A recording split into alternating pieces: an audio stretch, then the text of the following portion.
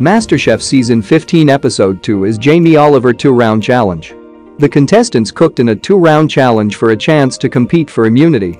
In the first round they had to cook a dish in 15 minutes, Andrea's spaghetti with clams, Antonio's cachapas, Grace's bruschetta with greens, poached egg and bagna Jessica's butterflied prawns with chermoula sauce, and Rhiannon's prawn coconut soup were the top 5 dishes.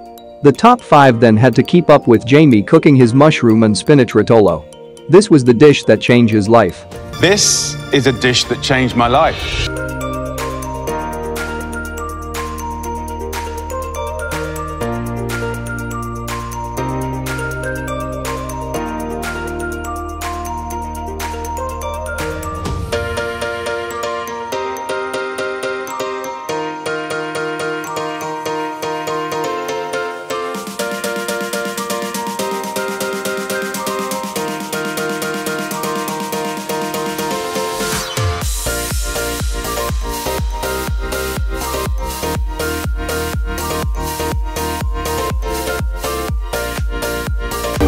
And I'm done.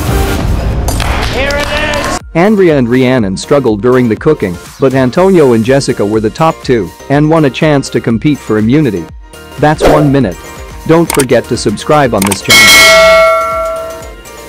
Thank you for watching. Till next time. Subscribe.